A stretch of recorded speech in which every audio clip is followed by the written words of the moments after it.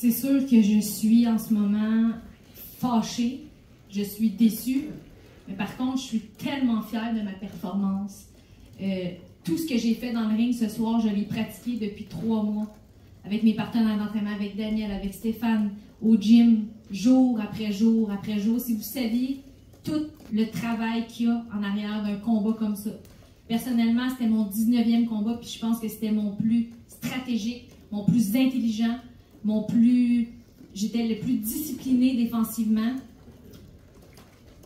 Puis de savoir qu'un juge de chez nous, quand mon promoteur Yvon Michel investit pour qu'on fasse ça chez nous, qu'on emmène la championne chez nous, c'est un juge de chez nous qui nous le donne pas, quand tout le monde nous le donne.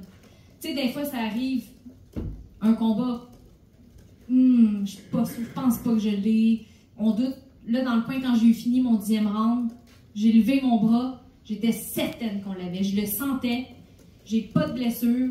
Oui, je me suis fait toucher parfois. Oui, des fois, elle finissait fort, mais on gagne pas un round en 10 secondes. J'ai boxé, j'ai été en contrôle tout le long.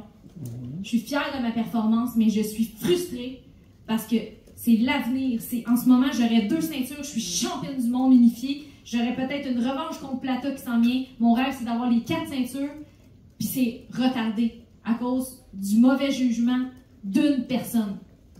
Puis j'enlève rien à Bermudez. Elle cogne dur, elle est bonne, elle a des longs bras, mais techniquement, stratégiquement, j'ai beaucoup plus d'outils qu'elle, je l'ai démontré ce soir.